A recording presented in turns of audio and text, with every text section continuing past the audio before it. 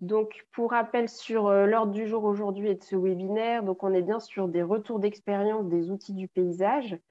Euh, dans un premier temps, on aura Sophie Riguel qui nous présentera l'Observatoire photographique euh, du paysage du Conseil d'architecture, d'urbanisme et d'environnement des Côtes d'Armor.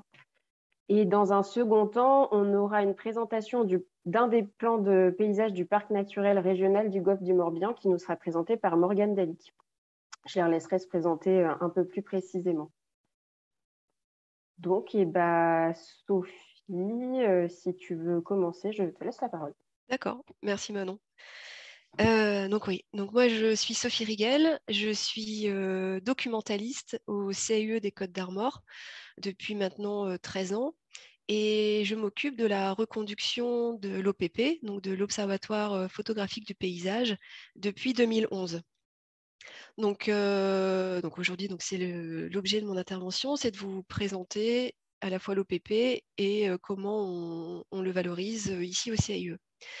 je voulais commencer l'intervention en vous présentant deux photos qui ne font pas partie de l'OPP, mais qui illustrent le pourquoi on a mis en place ces observatoires photographiques.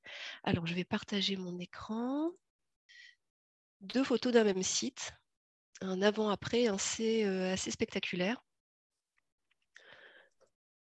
Donc, sur la côte de, Granit Rose, à Perros-Guirec, on a ici une, photographie, une carte postale euh, du début du XXe siècle, euh, avec un paysage qu'on pourrait qualifier de. C'est bon?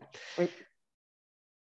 Alors, c'est vrai que le zoom, je ne l'utilise pas très souvent, du coup, je, je suis un petit peu un peu perdu dans l'outil, mais bon, ça va le faire.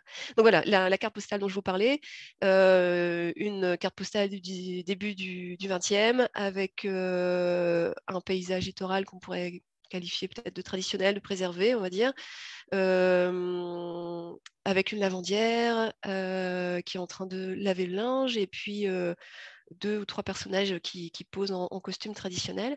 Et puis on a le même site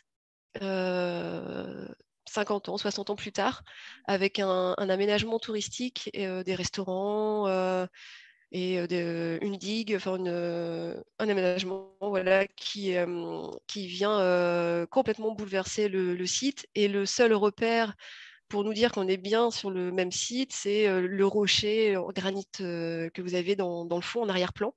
Je vais vous repasser la, photo. Voilà.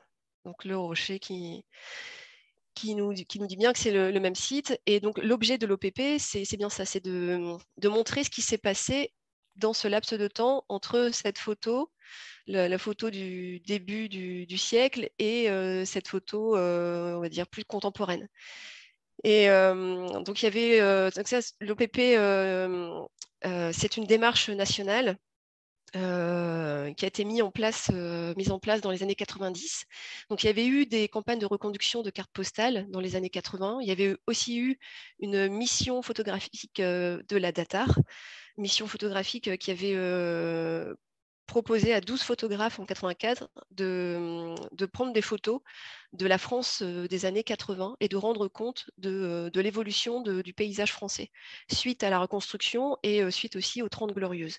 Ça a été une volonté du, ministère de, l'aménagement puis de l'environnement de sortir des cartes, de la cartographie et, des chiffres pour pouvoir avoir des photos de paysages à hauteur d'homme. Donc, dans les années 90, euh, les OPP se mettent en place et dans les Côtes d'Armor, c'est le CIE des Côtes d'Armor qui est identifié pour être le, porteur du, comité de pilotage, oui, et puis le, porteur de l'OPP dans le temps. Un comité de pilotage est, euh, constitué. Il y a à l'époque euh, donc la direction du paysage du ministère de l'Environnement. Il y a euh, le conseil général des Côtes d'Armor, il y a la DDE et il y a le, CAE. L'idée, c'est de, choisir un artiste photographe pour faire la, première série. Et c'est Thibaut Cuisset, jeune artiste photographe qui est choisi pour euh, les Côtes d'Armor. Donc, je vais vous montrer, parce que j'ai pris quelques ouvrages derrière pour vous illustrer. Alors là, il faut que j'arrête le partage d'écran, c'est ça pour que vous me voyez. C'est un peu. voilà, arrêtez, clac.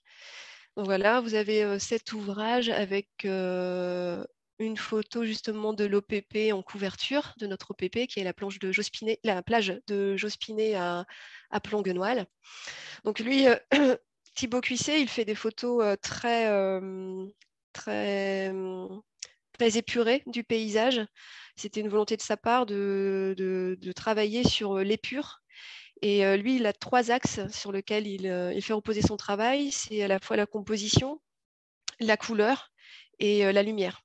Donc avec Thibaut Cuissier, on ne va pas avoir de, de, couleurs un peu spectaculaires comme le orange, le orange des couchers de soleil ou des choses comme ça, mais on est vraiment sur des lumières très hautes il aime bien les lumières de, entre midi et, deux, des lumières euh, où il y a très peu d'ombre pour éviter de dramatiser les, photos. Et c'est une approche du paysage qui a beaucoup plu à l'équipe du CIE euh, à l'époque, et notamment à mon directeur qui était le porteur de, l'OPP euh, au sein du CIE. Et c'est comme ça que Thibaut Cuisset donc, est arrivé dans, le, comité de pilotage et a commencé à travailler sur l'OPP. Il est venu en, sur trois résidences. Euh, donc il est resté à chaque fois aux environs d'un mois et il a pris euh, quelques 800 clichés dans, du département. Euh, ensuite, on en a choisi 42 avec le comité de pilotage selon des, thématiques qui avaient été à la fois déterminées par le comité de pilotage et aussi suggérées par, par le ministère. Donc, il faut savoir que l'OPP du, du CIE des Côtes d'Armor est le cinquième euh, d'une série de 20 OPP nationaux sur le, territoire français et qu'à chaque fois, ils sont thématisés.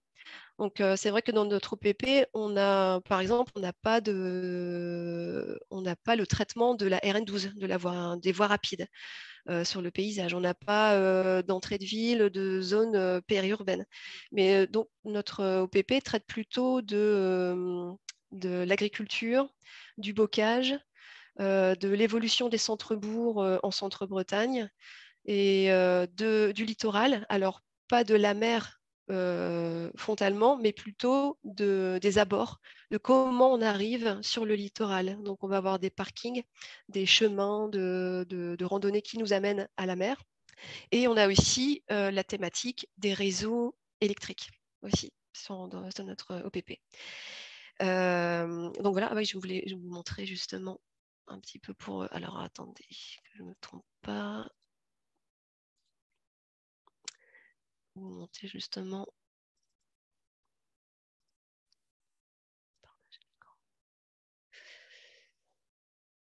Euh...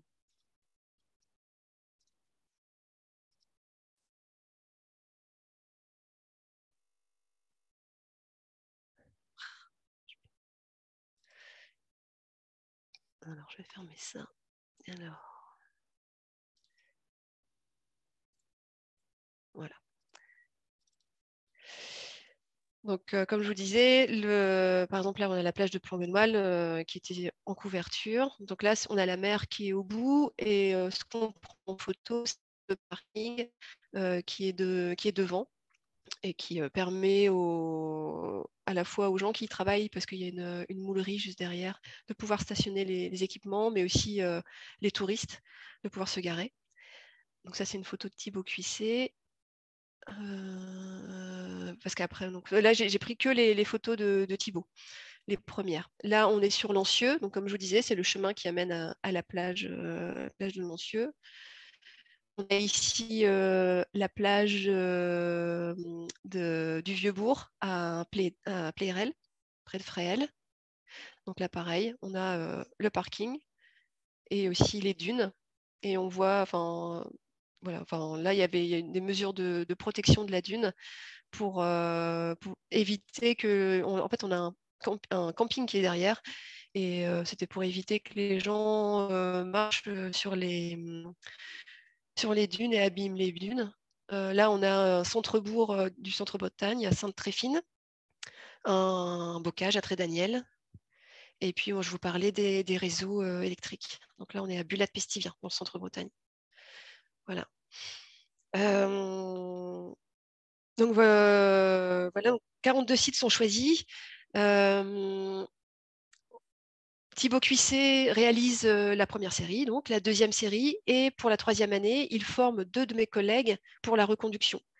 la reconduction qu'on effectue en interne. Donc pour ça, on lui rachète son matériel que j'ai mis derrière. C'est une chambre, une chambre photographique 6 par 9 qu'on a utilisée jusqu'en 2017. Donc là, on est sur de l'argentique. Ça veut dire qu'on a des négatifs qu'on envoie à Thibaut Cuissé. C'est lui qui s'occupe du développement et il nous renvoie les, photos ensuite par voie postale. En 2017, il décède et prématurément, donc on, doit changer de, de, méthode. Et on en avait déjà parlé avant avec lui, parce que c'est vrai que ça devenait assez lourd. Et Thibaut Cuissé, autant au début de sa carrière, il avait plus de temps pour s'occuper de, l'OPP, autant vers la fin de sa, carrière, il était très connu, il avait beaucoup d'expositions, de, résidences, et ça devenait de plus en plus compliqué en fait pour lui de s'occuper du développement. Donc on avait déjà discuté avec lui du passage au numérique, et donc on, est passé au numérique depuis 2018. Et aussi, on avait un pas de temps qui était tous les ans. On reconduisait chacune des photos tous les ans. Et aujourd'hui, on a choisi de, les reconduire tous les deux ans parce que bah, ça prend beaucoup de temps, 42 sites qui sont très éloignés les uns des autres. Et, ça devenait compliqué finalement en termes de temps de pouvoir effectuer la reconduction.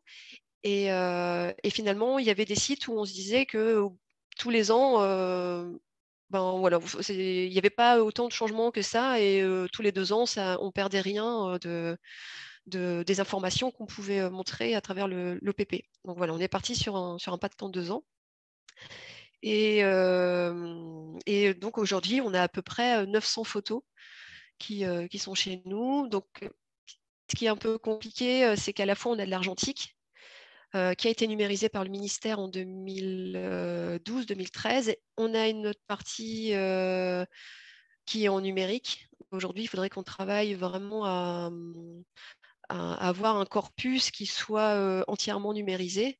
Et, on est en train de réfléchir aussi à l'archivage des photos argentiques, qui ici, en fait, ce n'est pas notre boulot, en fait, c'est un vrai travail d'archiviste de, protéger les, clichés qui ici s'abîment. Donc on a une méthode qui est, qui est très stricte et qui nous est, enfin oui, qui est stricte, qui nous est dictée par le ministère de, l'Environnement et qui est en ligne. Si jamais certains d'entre vous sont intéressés pour la pratique, on a ce document qui est, qui est en ligne. Et donc on doit respecter ben, à la fois le, cadrage, la temporalité, c'est-à-dire que voilà, si Thibaut Cuissé a pris la photo à midi, moi, j'essaie de prendre la photo bah, à midi. Des fois, ce n'est pas forcément possible, mais entre midi et deux, pour avoir la même lumière, pour pas avoir aussi parfois le, soleil dans les yeux. Donc, j'essaie de, on essaye de, vraiment de respecter ça et la même temporalité. C'est-à-dire que si c'est au, mois de mars, eh ben, j'essaie de. Bah, j'y vais le mois de mars et puis sinon, parfois, je, peux dépasser un peu sur le mois d'avril. Mais on essaye vraiment d'être très, très précis là-dessus. Ah, le lien, alors, ceci, ben, là, comme ça, je ne pourrais pas vous le donner, mais je pourrais le donner à Manon, mais je ne sais pas si, si après on pourra le, rebalancer. Ouais, c'est bon. On rediffusera, pas de souci. D'accord. Et donc voilà, en fait, tout est dedans, donc ça, explique vraiment toute la méthode. Et bon, concrètement, moi, donc, je pars avec mon matériel, j'ai les points GPS, je me pose avec le trépied, là où je peux faire un point de peinture, je fais un point de peinture pour pouvoir retrouver facilement mon, mon, point de vue. Et puis, je prends la photo. Alors, à l'époque, comme c'était une chambre 6 par 9, donc c'est une petite chambre avec deux objectifs, du 105 et du 150. Donc là, c'est un peu plus pour les, gens qui ont peut-être l'habitude de prendre des photos. Ça, c'est des objectifs qui sont très proches de l'œil humain. Et c'était le, ben, Thibaut Cuissé, en fait, il travaille là-dessus. C'est vraiment on ne fait pas d'artifice, on, essaie de prendre en, photo ce que voit euh, l'œil humain. Donc nous, on, travaillait en 105 et 150. Et donc voilà. Euh, qu'est-ce que je voulais vous dire euh, Et donc pour, pour un peu illustrer comment nous, on, l'utilise ici. Donc, on l'a utilisé pour plusieurs expositions, notamment une qui avait très très bien marché, qui était sur le village du Tour de France, qui vraiment, ça avait vraiment animé et les gens étaient vraiment très intéressés. Ben là, on touchait un grand, très large public et on, se disait que c'était peut-être un petit peu déconnecté du, Tour de France et finalement pas du tout. Euh, les gens se sont vraiment euh, intéressés et sont venus nous rencontrer. Et, euh, donc ça, ça a vraiment très très bien marché. Et donc il y a eu plusieurs expositions comme ça aussi au sein du CIE. on avait fait une expo aussi à la passerelle, mais ça il y a assez longtemps. Il y a eu une exposition aussi à la BNF, alors pas que de notre OPP, mais il y avait eu plusieurs OPP présentés lors de cette exposition. Et on l'a également utilisé pour deux conseils aux collectivités. Alors nous, le CAE, on fait à la fois euh, de la sensibilisation, on a aussi une mission de conseil aux particuliers au conseil aux collectivités en matière d'architecture et euh, d'urbanisme et de paysage. Donc euh, là, c'est l'exemple d'une commune pas loin de mon contour, de Trédaniel, qui, qui a un, projet de rénovation de son centre-bourg et qui, a un problème en fait d'identité, on va dire, de la commune. Et mon collègue, euh, ben, pour illustrer cette analyse qu'il ait pu faire de, la commune, il a utilisé l'OPP. Alors, j'essaie de repartager si j'y arrive pour vous montrer la série de, de traits Daniel. Alors, il faut que je la sélectionne d'abord. Voilà, donc on a ici le, centre-bourg qui a été aménagé dans les années 90 avec euh, la euh, qui est le, centre-bourg euh, historique de la commune, qui est euh, en surplomb, et puis en bas, le long des départementales, l'aménagement de, commerce, de la salle des fêtes et de la mairie. Donc un aménagement qui s'est un peu déconnecté de, qui s'est même carrément déconnecté du centre-bourg historique et, mais qui est plutôt pratique puisque en, lien avec, la, départementale.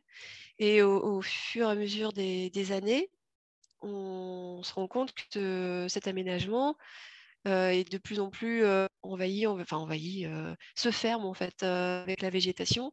Et finalement, les passants passent sans vraiment se rendre compte qu'il y a des commerces derrière, qu'il y a,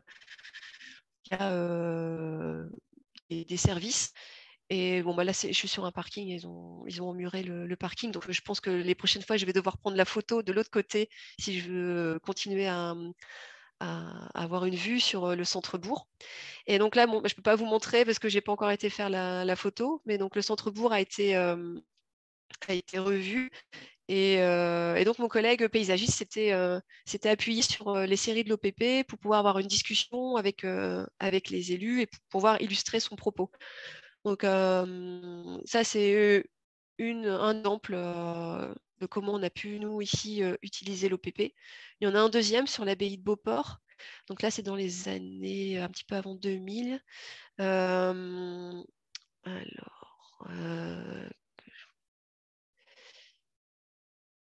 l'abbaye de Beauport que vous devez connaître à Paimpol. Est-ce que c'est bon, vous voyez non. Je vais peut-être arrêter. Non, ok, j'arrête et je reprends. Ok. Hop, c'est bon, maintenant j'ai l'habitude. Hop. Donc voilà, on a euh, l'abbaye de Beauport, euh, là c'est en 94. On a encore de l'agriculture juste en, bordure de l'abbaye. L'abbaye est derrière. Et dans mon dos, là, quand je prends la photo, euh, l'abbaye est, est, rachetée par le conseil départemental et un projet patrimoine d'ouverture au public est, ensuite proposé. Donc là, voilà, on a la deuxième année. Et, voilà. et en 2004, on a le, projet d'un paysagiste qui souhaite travailler sur la notion de verger, parce que la I était traditionnellement une exploitation cidricole et par les, par les moines. Et donc le, projet est de, planter un verger au bord de l'abbaye. Sauf que au fur et à mesure de, du développement de, des arbres fruitiers, on ferme complètement le paysage et on n'a plus cette vue qu'avait qualifié finalement l'artiste photographe. Et, eh bien, il a été décidé de déplanter les, arbres, de poursuivre l'idée de, quand même intéressante du verger, mais de, ne pas planter le long de, ce chemin et de, conserver cette vue que hum, Thibaut Cuisset avait, avait pu repérer et avait, avait photographié et, que, qui était archivé donc, dans notre OPP.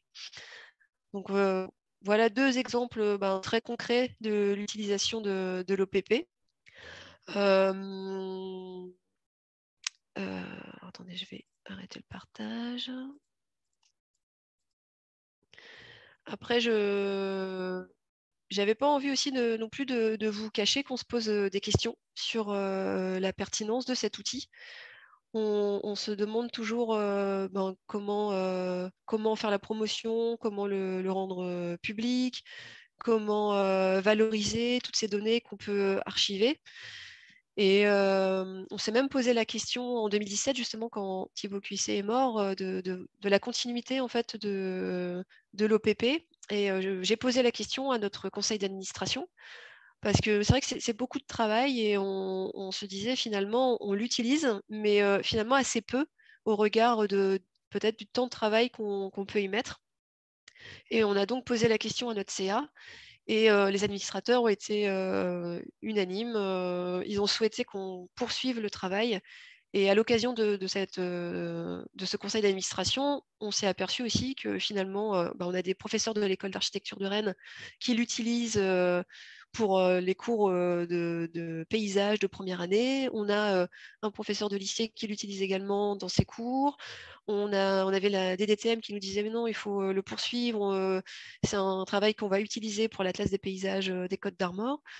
Et, on s'est aperçu, même les, élus étaient, connaissaient l'outil et étaient intéressés pour que ce travail se poursuive. Donc on a, on a continué et c'est là qu'on a décidé aussi de ne plus y aller tous les ans, mais aussi d'espacer le pas de temps de reconduction des photos et de le faire plutôt tous les deux ans pour que ce soit un peu moins lourd pour l'équipe de, reconduire, de tenir en fait cette OPP. Alors après, on a des, perspectives d'évolution. Je vous ai parlé de l'archivage qui nous, qui nous semble important parce que les photos s'abîment. Et on aimerait aussi pouvoir consulter les 800 photos que Thibaut Cuisset a réalisées lorsqu'il est venu dans les années 90 faire ses premiers repérages. Donc on sait qu'il a des 800 photos. On, a commencé à prendre contact avec donc son ayant droit et sa fille. Et, on, voudrait voir s'il n'y a pas des thématiques qui ne sont pas traitées par l'OPP, comme je vous parlais de, tout à l'heure, comme les, entrées de, villes, de bourgs, les zones périurbaines, les zones artisanales, la voie rapide. Enfin, des, thématiques qui, sur, lesquelles on travaille et qui nous sembleraient intéressantes de, traiter pour, euh, le, faire évoluer en fonction aussi des thématiques sur lesquelles on, travaille au CIE. Et on aurait aimé aussi euh, faire un travail euh, d'analyse plus poussé sur les photos, parce que c'est vrai qu'actuellement, je prends les photos, on les, bah, avant, on le développait avec Thibaut Cuisset. Là, maintenant, on fait un traitement un léger traitement sur Photoshop pour les recadrer parce qu'on n'a pas le, exactement les mêmes dimensions que la chambre. Donc, on essaye d'avoir une cohérence dans le format des photos. Donc, il y a un petit traitement Photoshop quand même qui est réalisé. Et ensuite, on les archive. Et on, parfois, on, peut faire une, faire une analyse avec des collègues architectes ou, et paysagistes quand une collectivité nous le demande, mais sinon, c'est vrai que la majorité des photos, ben, finalement, sont archivées et elles ne sont regardées que très peu ou très peu analysées. Donc là, on aurait aimé pouvoir avoir un travail plus analytique, peut-être faire intervenir des sociologues, ethnologues, et pourquoi pas aussi des botanistes. Euh, pour être intéressant aussi d'avoir une étude de, la flore sur notamment les paysages de bocage. Donc on a toutes ces idées voilà, c'est vrai qu'on en parle, mais on n'a pas encore initié de, travail d'analyse plus poussé. Euh, et donc finalement, euh, euh, c'est vrai que ce travail d'analyse nous paraît intéressant, parce que finalement, ces photos, elles, elles, elle nous, nous, pose la question de comment on prend soin de ces paysages et, et nous pose la question aussi de que seront ces lieux dans peut-être dans un siècle, que, seront ces lieux plus tard. Et finalement, autant ces photos nous, montrent l'évolution, la transformation des paysages, mais ces paysages, finalement, c'est des paysages quotidiens qu'on traverse, dans lesquels on travaille, dans lesquels on, élève nos enfants ou on construit notre maison. Et ils parlent beaucoup aussi de, notre identité et de, notre temps. Et, ce serait ce, rapport-là qui, nous serait intéressant d'analyser un peu plus à travers l'OPP. Voilà. voilà, j'espère que ça n'a pas été trop fastidieux avec les, partages d'écran un peu longs. Est-ce que, j'en profite, bah, est-ce qu'il y a des questions euh, N'hésitez surtout pas à prendre la parole. Hein. Comme je vous l'ai dit, on n'est pas beaucoup. Donc, euh, j'ai rebalayé le chat. A priori, on avait euh, répondu, Morgane avait répondu un peu au fur et à mesure des, questions. Donc, je vous laisse quelques instants là si vous souhaitez poser des questions. Puis sinon, si, si, Sophie, tu as terminé, oui. On passera à la suite après, mais voilà, je laisse un petit peu de temps euh, si quelqu'un veut poser une question.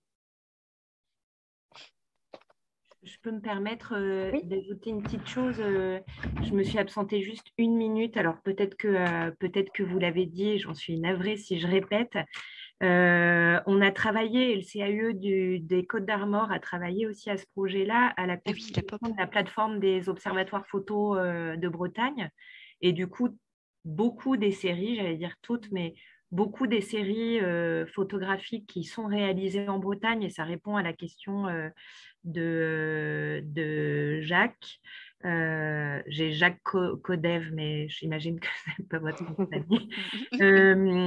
et, et, du coup, on peut visualiser les séries photos et puis leur localisation, les thèmes auxquels ça appartient, quelle collectivité euh, prend les photos et, euh, et puis année après année, euh, l'évolution aussi. Et c'est ça, c'est un bon outil mm. et qui permet l'analyse aussi des photos.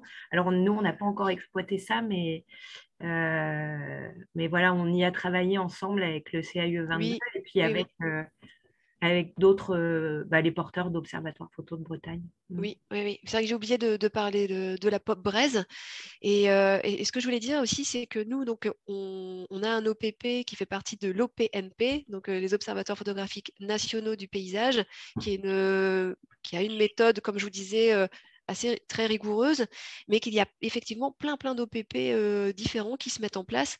Nous, on a un OPP qui a qui, vit dans le temps, dans le temps très long, mais qu'effectivement, il, y a, plein d'autres OPP qui peuvent euh, avoir euh, peut-être un, intérêt à être développés sur une année, sur un mandat, sur euh, peut-être sur un mandat qui s'arrête un autre mandat, qui reprend ensuite, qui peut être porté par, pourquoi pas, des écoles ou où on a aussi dans la pop braise, on a une université populaire qui, euh, qui tient son, son, observatoire aussi euh, photographique. Donc en fait, il y, a plein de, de, façons différentes aussi de, de, de, mettre en place ces OPP. Et, euh, et nous, c'est une façon de... C'est une méthode, mais cette méthode, elle est, on, on, peut l'adapter aussi à, à d'autres structures, à d'autres usages. C'est vrai que la, pop, elle, elle regroupe toutes ces tous ces OPP euh, qui peuvent être à la fois bah, comme le nôtre et comme celui du parc euh, d'Armorique, qui font partie de la démarche euh, nationale, et puis tous les autres OPP qui, existent en Bretagne, et il y en a beaucoup. Je ne sais plus combien il y en a, mais il y en a vraiment, je sais, j'aurais pu vous dire combien il y en a, mais enfin, tout est écrit sur le, site. Mmh j'ai Oui, donc j'ai mis le lien, je pense que c'est le bon vers, vers la plateforme sur le chat si vous voulez aller voir voir après ce webinaire euh, à quoi ça, peut ressembler.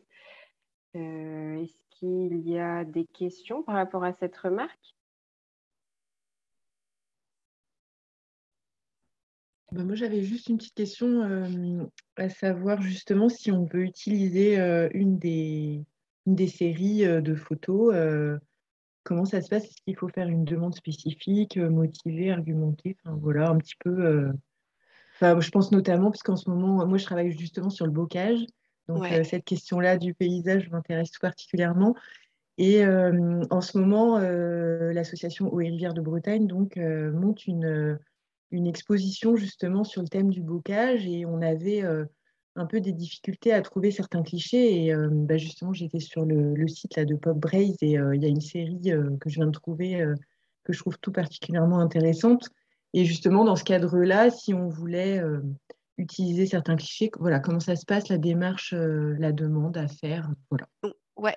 Alors là, si vous allez sur la Pop il faut regarder qui est le porteur de l'OPP. Si c'est nous, le CAIE, il suffit de, prendre contact avec nous et, euh, ensuite on voilà, enfin nous l'exigence qu'on a c'est euh, d'être cité, que le photographe soit cité surtout, Thibaut Cuissé, et puis aussi pour les reconductions le CAIE. Donc c'est juste euh, voilà, c'est assez simple finalement, juste qu'on soit cité et que, les gens comprennent qui, qui est derrière l'observatoire. Ok, merci beaucoup. Je vous en prie. Il y a d'autres questions?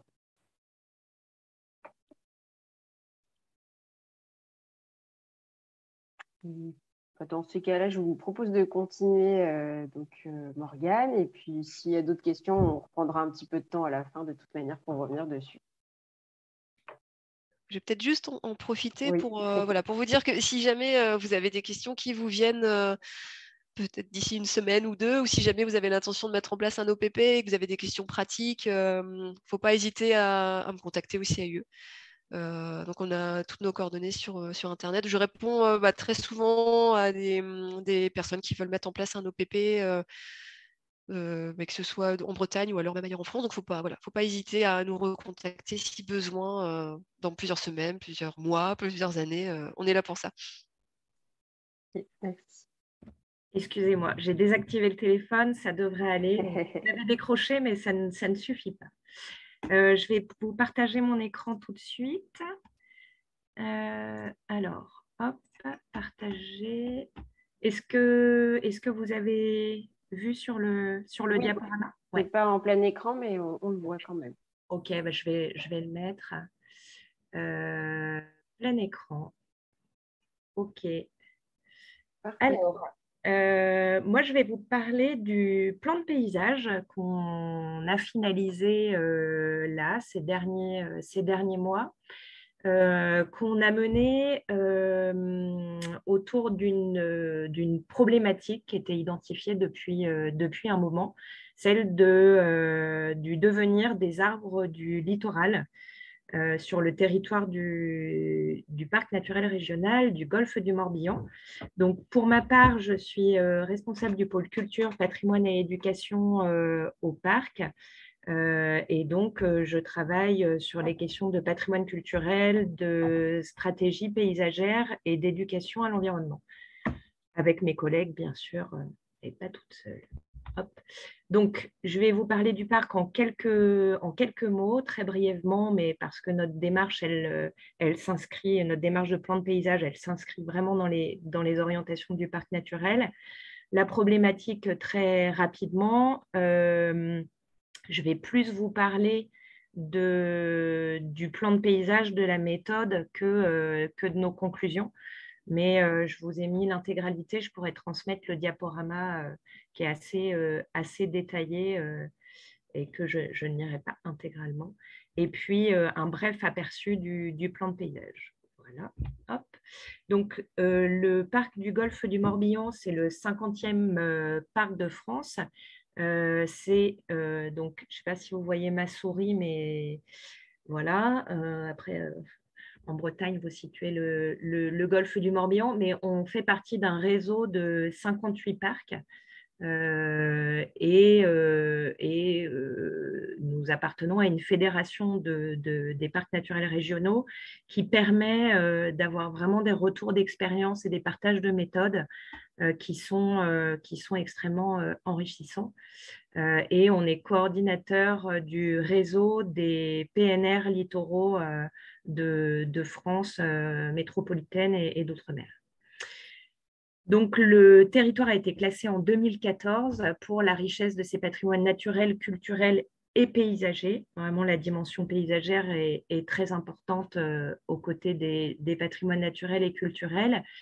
et c'est aussi un label qui est attribué sur une démarche de territoire qui s'appuie sur une charte. Donc ça, c'est un, document qui est euh, qui est un document fondamental des, parcs naturels régionaux et qui euh, rassemble l'ensemble des collectivités qui sont membres des, parcs. Les parcs, ce sont des collectivités de collectivités, en somme. Donc voilà, notre charte a une durée de, de 15 ans et puis on est en train d'étendre notre, périmètre géographique. Euh, donc, dans le territoire d'études initiales, euh, certaines communes n'avaient pas souhaité euh, adhérer à la création du parc et au fur et à mesure, les communes qui faisaient partie du territoire d'études rentrent petit à petit et, regagnent gagnent le, projet de, territoire et s'inscrivent dans cette dynamique.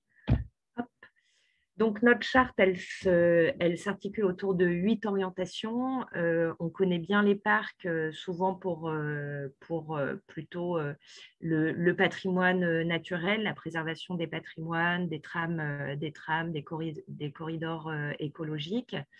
on est aussi opérateur Natura 2000 avec l'État. on a travaillé sur la question de la préservation de l'eau, du grand cycle de l'eau. Euh, donc avec la, avec la GEMAPI, euh, c'est une thématique sur laquelle on travaille moins, euh, même presque plus. En revanche, les collectivités qui sont membres du parc doivent continuer à s'en saisir. La troisième orientation, celle de la qualité des paysages du golfe du Morbihan, donc sur une approche de valorisation, mais aussi de préservation des grandes structures paysagères. On travaille sur le patrimoine euh, culturel euh, également. Euh, on a deux orientations qui traitent de l'aménagement du territoire, aménagement durable et conciliation des usages et maîtrise de l'étalement urbain.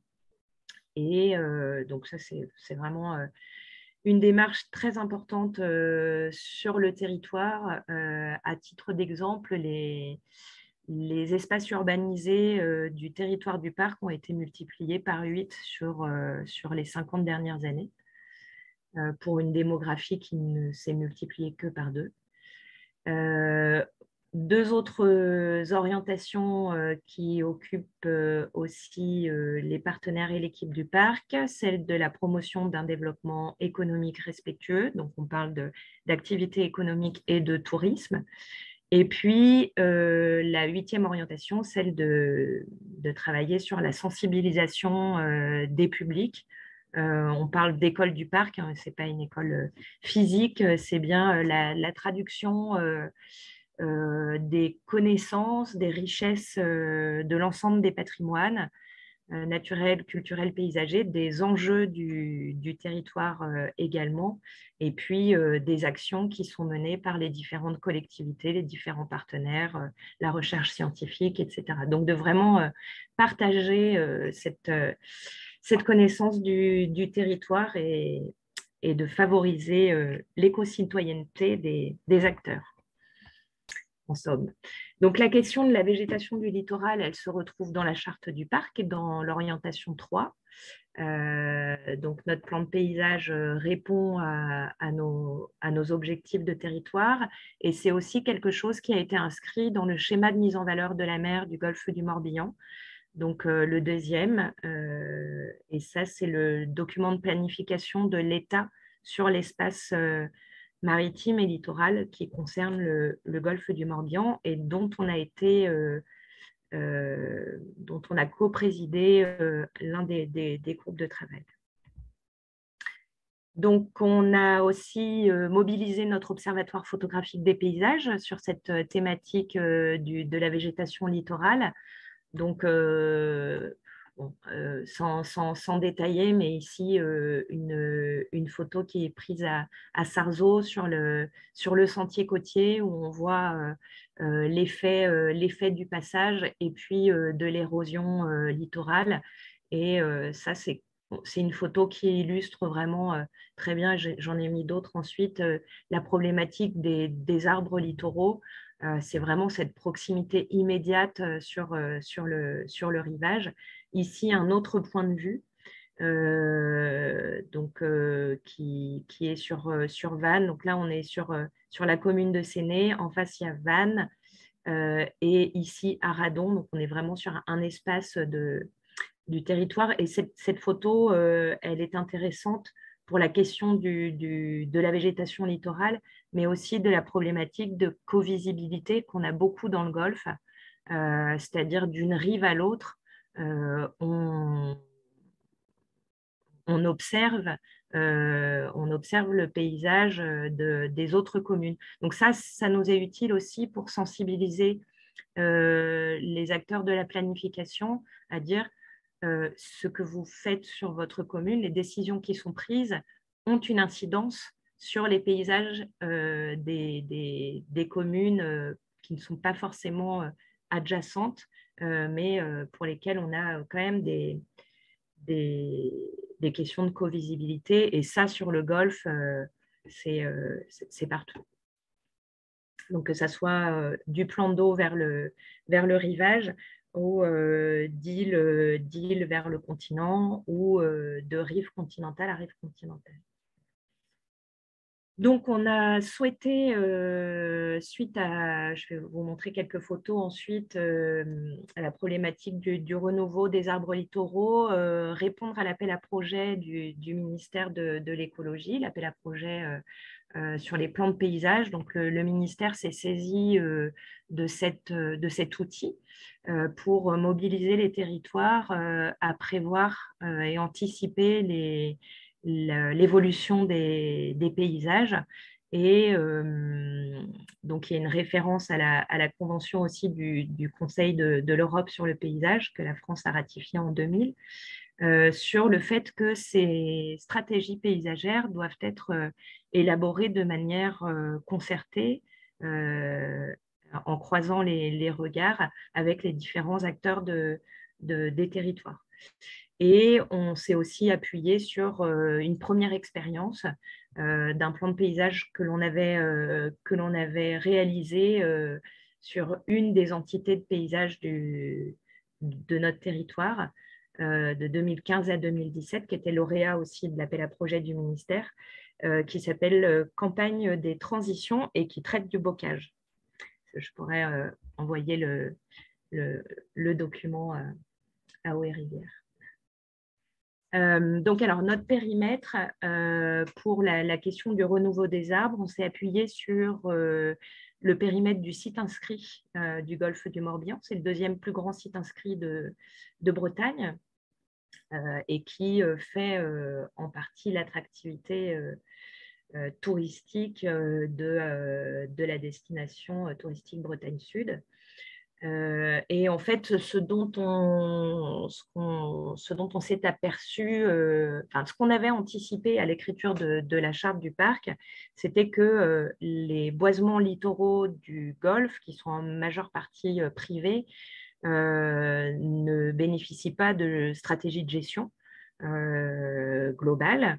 Et euh, avec les effets du changement climatique et le vieillissement du patrimoine arboré, on allait assister petit à petit à des dépérissements. Euh, donc, euh, c'est ce qu'on a observé au fur et à mesure, ce qu'on avait imaginé finalement, c'est de plus en plus observé. Donc là, quelques photos de la diversité des paysages arborés, donc sur des, des paysages plus ou moins ouvert euh, à euh, d'aspects euh, agricoles liés aussi à la, à trame bocagère, avec des espaces urbanisés, des activités économiques, des lieux de, promenade, et puis, et puis de, de, de, diverses activités. Donc ici, on voit bien les, on voit bien euh, le lien avec euh, l'urbanisation, les trams. Et puis, euh, en fait, l'un des enjeux, c'était aussi de, faire comprendre que cet aspect de forêt sur l'eau, finalement, quand on prend un peu de hauteur, bien souvent, on remarque qu'on est plutôt sur des, sur des cordons arborés avec quelques espaces boisés, mais pour beaucoup plutôt des, des, plutôt une trame bocagère et donc euh, aussi euh, le fait que euh, les dépérissements pouvaient créer des cônes de visibilité pas forcément souhaitables sur certains espaces urbanisés également. Donc une mortalité, une mortalité, un dépérissement qui s'observe et qui s'accélère du fait de, différents facteurs croisés, beaucoup de stress hydrique lié à euh, aux sécheresses et épisodes caniculaires euh, euh, successifs sur des substrats qui sont pas très épais, donc avec une ressource en eau qui est, qui est parfois faible, et puis aussi des arbres qui arrivent soit naturellement en fin de vie, soit qui sont arrachés par des épisodes de tempête euh, tempêtes qui suivent parfois des épisodes de pluie importantes qui euh, ameublissent les, sols. On a des, phénomènes d'érosion côtière, euh, des, vieillissements et des absences d'entretien aussi. là, je pense que c'est aussi l'effet des, tempêtes. Euh, bon, on a identifié évidemment les, différentes raisons de ces, dépérissements, euh, donc des, effets euh, de fréquentation, d'érosion, d'épaisseur de substrat, on en parlait, des vents. beaucoup de la fréquentation s'accentue sur, sur le, les rivages et couplée à, un vieillissement du patrimoine arboré, euh, on a aussi des, mortalités qui s'accélèrent, plus euh, des évolutions parasitaires. Je ne vais pas détailler toutes les, raisons, euh, mais en gros, l'idée, c'est de... L'idée initiale, c'est bien d'anticiper les évolutions du paysage de sensibiliser les acteurs au fait que les paysages littoraux, les paysages du, territoire du parc sont des paysages anthropiques, euh, mais qui ont aussi, euh, qui sont support de biodiversité, qui sont sensibles aux effets euh, du changement climatique, qui ont une incidence sur la qualité du cadre de vie, etc et euh, de sensibiliser au fait que ces évolutions, elles sont inéluctables, c'est le principe même du, paysage d'évoluer, mais qu'en anticipant, on peut aussi avoir euh, une influence euh, positive et, pas forcément se contenter de subir ces évolutions. Donc, on a, posé les questions, je passe, euh, je passe là-dessus. On a euh, identifié les différents, les différents enjeux, euh, et ça au travers d'une diversité d'actions concertées. Donc, on a créé un comité de pilotage pour commencer, qui a été placé euh, sous la présidence euh, d'une des élues du, bureau euh, syndical du, parc, qui est aussi en charge des questions de, changement climatique et de gestion du trait de côte. Donc, on a, on a rassemblé les communes littorales du, site inscrit du Golfe, les communautés de communes, communautés d'agglos, le pays d'Auray qui est en charge du SCOT, la DREAL de Bretagne, la région Bretagne, les services de l'État euh, concernés. Euh, pour, euh, pour la, cohérence technique et la question de la, propriété foncière, le Centre régional de la propriété forestière, la Chambre d'agriculture du Morbihan, les gestionnaires et propriétaires d'espaces naturels, que sont le Conservatoire du littoral, le conseil départemental, euh, le CAE du Morbihan et euh, la Fédération des associations euh, de protection du golfe du Morbihan. Donc au démarrage, on a, souhaité s'associer les, compétences plurielles de, bureaux d'études. Donc on a rédigé un cahier des charges. on a sélectionné un groupement de bureaux d'études et on a assez rapidement mis un terme au marché euh, parce que, euh, de notre point de vue, les propositions étaient insatisfaisantes d'un point de vue technique et d'un point de vue du calendrier. la problématique, elle est complexe, elle est hyper transversale. Euh, et on s'est retrouvé à travailler avec euh, des équipes qui déroulaient plutôt une méthode euh, générale et pas forcément appliquée sur, sur les problématiques du territoire. Et pour nous, c'était c'était insatisfaisant tant la problématique est importante, le devenir des, des paysages du littoral, euh, voilà, c'est une question qui, qui, est cruciale et, euh, et, on ne pouvait se satisfaire d'approximation. Donc, on a rebondi, on a travaillé, euh, on a, pour ça, on a perdu du temps, mais bon, ça nous a permis de, revoir notre méthode, de revoir le, projet. on a mobilisé le paysagiste conseil du parc, qui était déjà sur le projet, mais là davantage. Euh, on a recruté une forestière pour la phase de diagnostic euh, et pour toute la phase de, sensibilisation.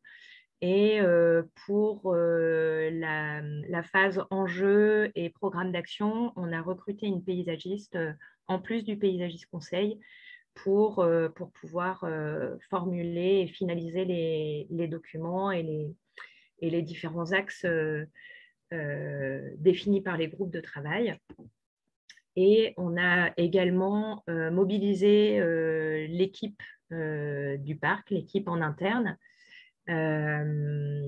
donc l'ensemble des pôles, pour justement décloisonner l'approche paysagère et s'assurer de la plus grande transversalité de, nos travaux en croisant avec les collègues en charge de Natura 2000 et, et de la trame verte et bleue, euh, avec euh, les, collègues qui travaillent sur la valorisation économique et en lien avec les, acteurs économiques du littoral, notre collègue en charge du climat et de la gestion de la GIZC, gestion intégrée des zones côtières, chargé de mission des îles, etc. Et vraiment pour pouvoir faire en sorte que on croise d'une nos différents projets, nos regards, et ça nous a permis aussi euh, d'apporter davantage de lisibilité auprès des élus et des acteurs du territoire avec lesquels on travaille, en disant que ce plan de paysage, il, se raccroche aussi à,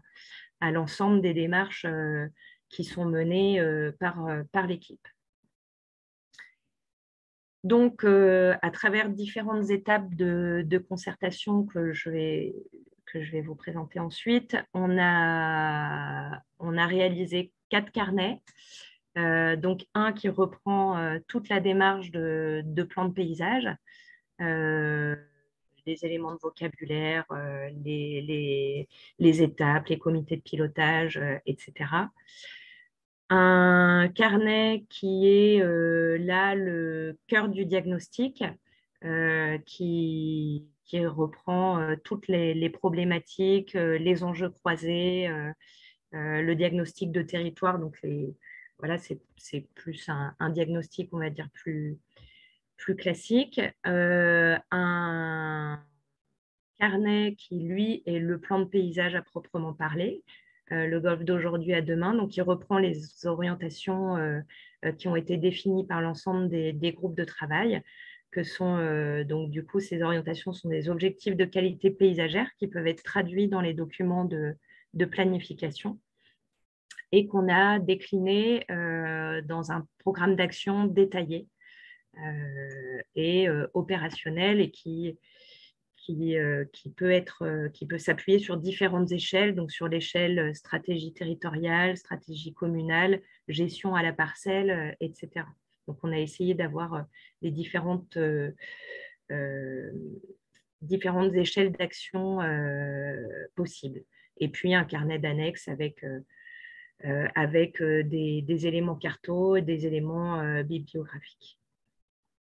Voilà, donc on a travaillé pour notre méthode, pour vous détailler un petit peu la méthode sur des, des constats collectifs. Donc, avec euh, les services techniques, avec euh, les différents services euh, instructeurs, les élus qui recueillent aussi beaucoup de beaucoup d'avis et de, on va dire, de requêtes de la part de, leurs administrés. On a échangé avec l'architecte des bâtiments de France aussi, qui est régulièrement sollicité sur les questions de, de paysage et de boisement littoraux. Euh, on a souhaité que ces échanges soient euh, au maximum euh, au cœur des paysages. Alors, avec les phases de confinement, ça n'a pas toujours été simple. Donc, par chance, on a, pu réaliser la majeure partie de, des démarches de diagnostic avant, le Covid. Euh, on a travaillé aussi à partir de questionnaires à, recueillir les, perceptions euh, des, habitants et euh, leurs attachements, ce qu'ils souhaitent, ce qu'ils aiment, etc. On a croisé avec des analyses techniques. Il y a toute une littérature aussi sur l'adaptation au changement climatique du patrimoine arboré. Donc, on a on a pu aussi capitaliser ces données et le plus gros, euh, le plus gros du, je ne sais pas si c'est le plus gros, mais en tout cas, ce qui nous a euh, beaucoup occupé, c'est d'orchestrer ensuite toute cette donnée, toute cette matière qu'on a pu euh, recueillir, constituer, créer pour, pour rendre appropriable ce, ce, plan de paysage. Euh, ça n'a pas toujours été simple, mais on a réussi à, clarifier un petit peu les, enjeux et les orientations. Euh, l'idée étant d'avoir un document, euh, certes, qui tienne, la route d'un point de vue technique et scientifique, mais qui soit appropriable par les acteurs locaux, par les services techniques, par les élus, par les gestionnaires, et donc de de rendre euh, le plus intelligible possible à la fois les enjeux et puis euh, les, approches euh, préconisées. Donc, on a, on a constitué une charte graphique du projet pour, bah, lui donner son, identité graphique. Donc, on a premièrement diffusé une petite plaquette pour faire comprendre les enjeux. Donc ça, ça nous a semblé être une, approche importante et ça nous a permis de, en allant à la rencontre des différents acteurs, de pouvoir euh, distribuer un petit, un petit document avec, euh, avec euh, nos, contacts. Donc ça, ça semble peu de choses, mais ça nous permettait de, diffuser et de laisser dans différents endroits du territoire aussi ce, cette, cette, donnée, dans les médiathèques, dans les mairies, euh, ça a été distribué sur les marchés, dans différents lieux euh, également.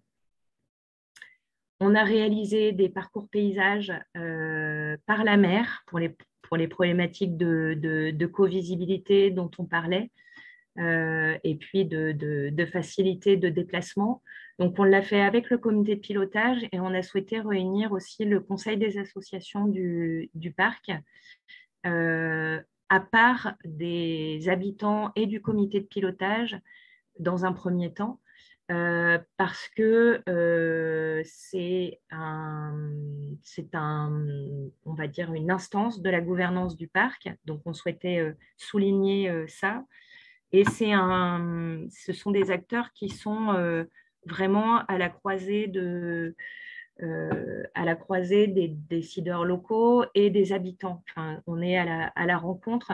On souhaitait que les associations du territoire puissent s'exprimer indépendamment dans un premier temps des, habitants, euh, d'une part pour recueillir leur parole qui est assez avisée, euh, et aussi pour ne pas effrayer des habitants qui, eux, ont peut-être une connaissance moindre des enjeux de territoire, de, euh, du, territoire, du patrimoine arboré, et qui puissent aussi se sentir avoir de la place et une parole euh, plus, on va dire, euh, moins, moins avisée. Voilà. Je ne sais pas si c'est très clair ce que, ce que je viens de vous dire, mais en gros, d'avoir de, ces, ces temps pour le comité de pilotage, le conseil des associations à part dans un premier temps, et ensuite d'autres parcours qui ont été réalisés pour euh, recueillir les avis là des habitants et, euh, et des équipes des équipes techniques des communes. Voilà. on a réalisé un état des lieux sanitaire des boisements. Donc pour ça, on a créé un, groupe de travail avec la personne en charge des forêts à la, DDTM, donc service de l'État, et notamment personne qui instruit aussi les autorisations sur les espaces boisés classés.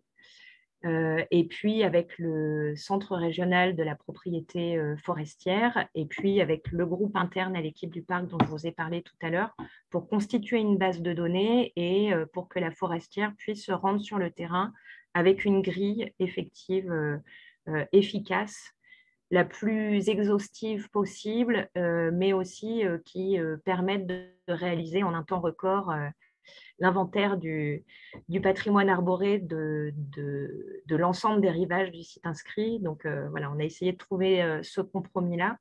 Donc c'est une base de données sur, euh, sur géomatique, donc sur, directement sur une, sur une tablette qui a permis de, localiser précisément les éléments inventoriés et de leur attribuer des, des différentes qualifications. On a utilisé la méthode d'Epéris, donc c'est une méthode classique euh, d'identification de l'état sanitaire des boisements par, euh, les forestiers.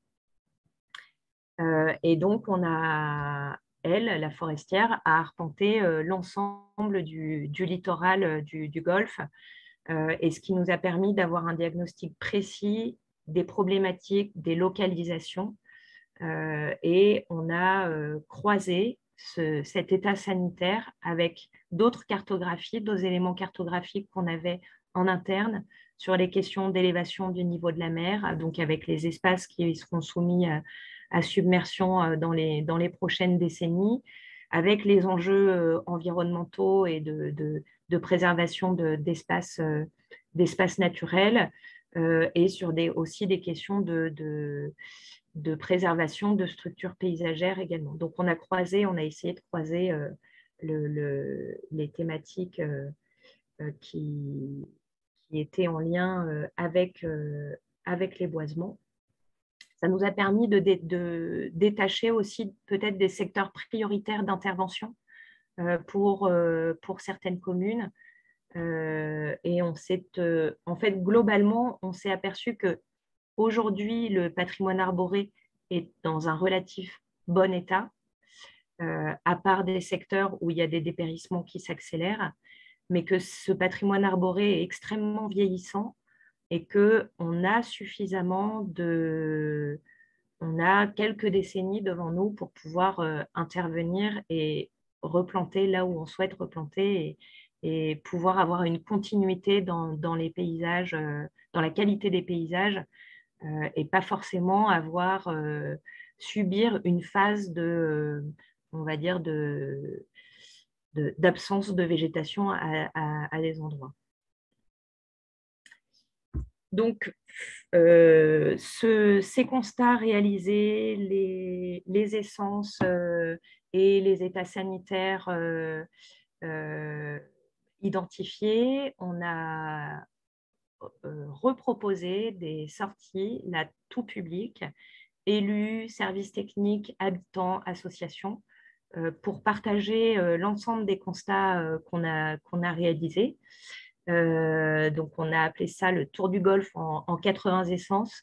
Ça a mobilisé énormément de monde et ça nous a permis de, de restituer euh, notre, notre, diagnostic euh, en essayant de ne pas être trop euh, technique.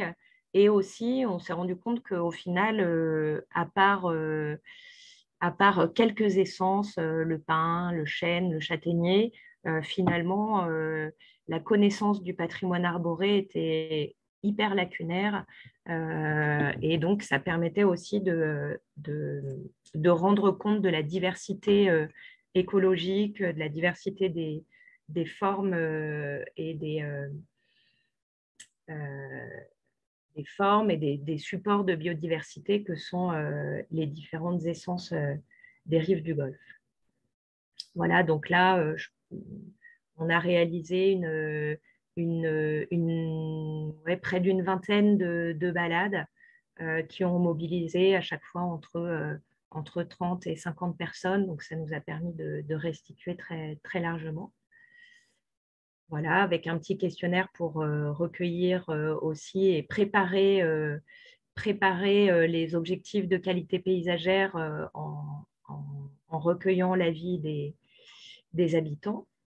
On a également mené un partenariat avec un master de l'Université de Rennes 2, là pour approfondir les questionnaires liés aux, perceptions des, acteurs, faire des analyses de, de, de ces perceptions, euh, prioriser euh, certaines, euh, certaines attentes, certains objectifs. Et puis, ils ont aussi proposé, et ça on a trouvé très intéressant, ils ont proposé des, des montages photos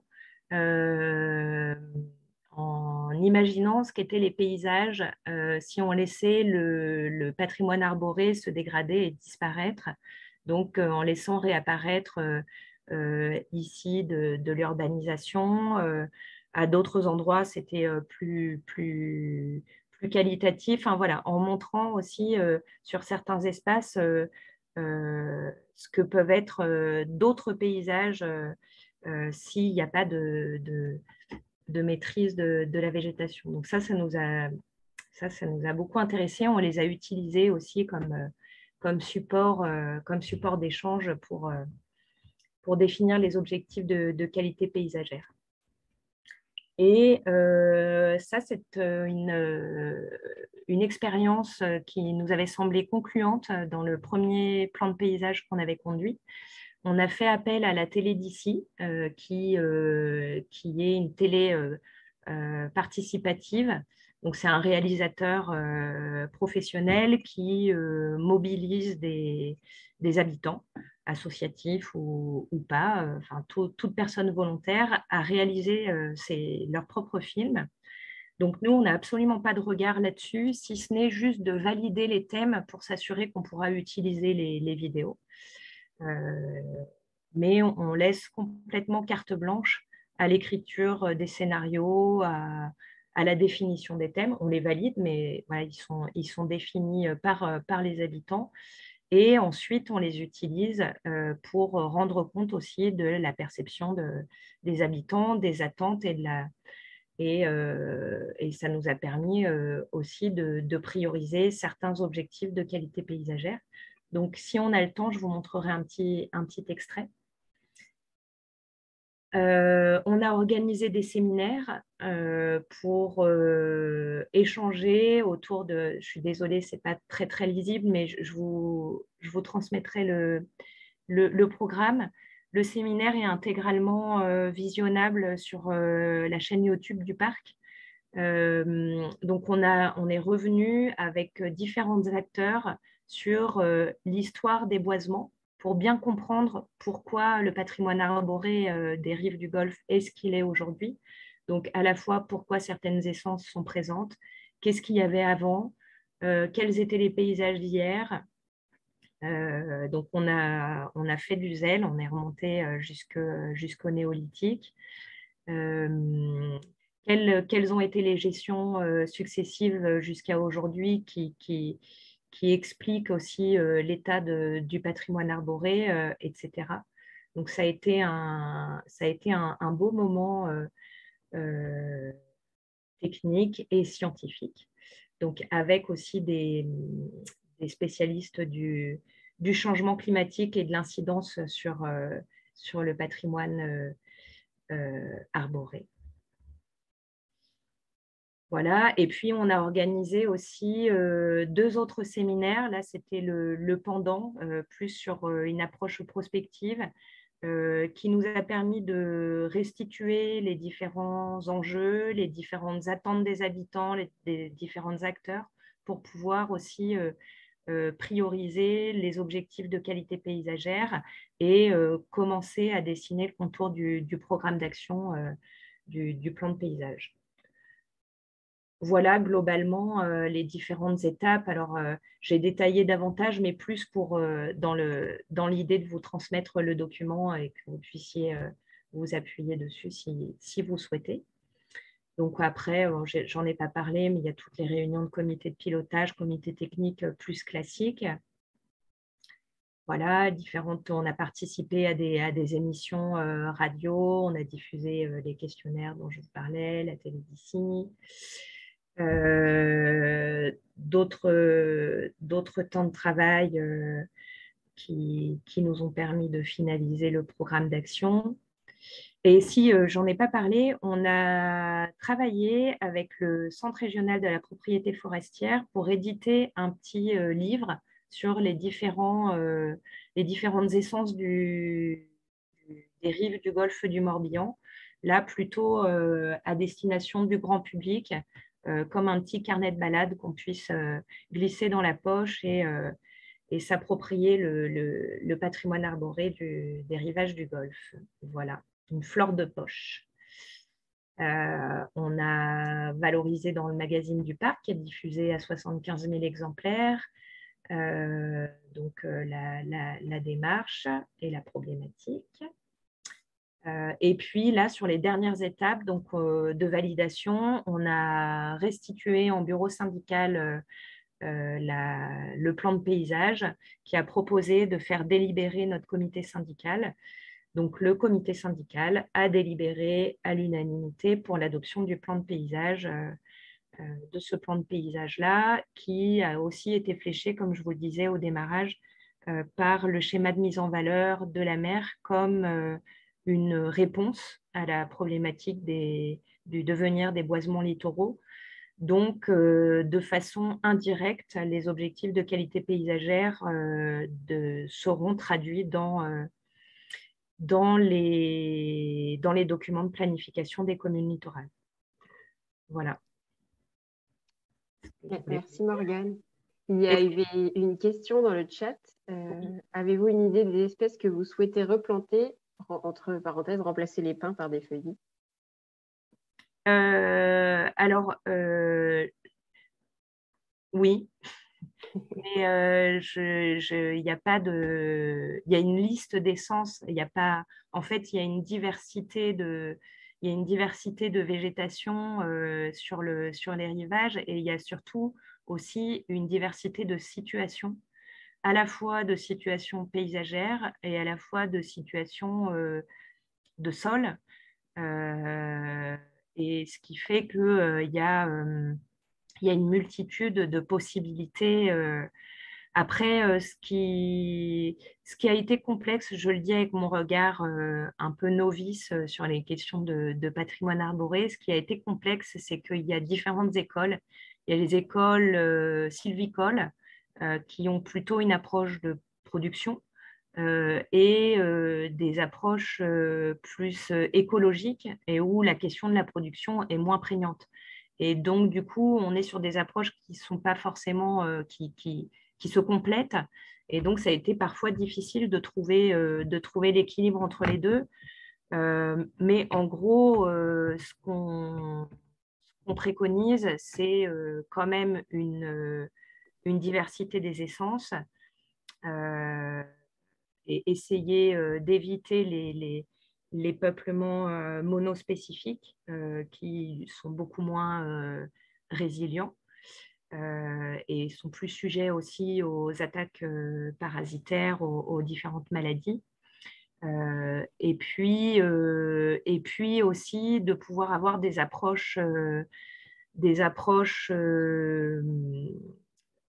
ponctuelle euh, de diversification des patrimoines génétiques en associant dans certains boisements euh, sur, avec des, des essences similaires, mais de pouvoir insérer des sujets qui viennent de régions où il y a des, des, un climat plus, plus sec et, et plus chaud pour euh, justement euh, avoir un, mélange génétique euh, plus, qui, sera plus adapté au, changement climatique. Mais on a inséré une liste d'essences dans le, dans, le, plan de paysage, dans le programme d'action, voilà. Mais il n'y a pas la liste d'essence idéale parce qu'il y a des endroits où on a du, une trame bocagère, d'autres où on est sur de la restauration de, de landes, d'autres où on est sur la,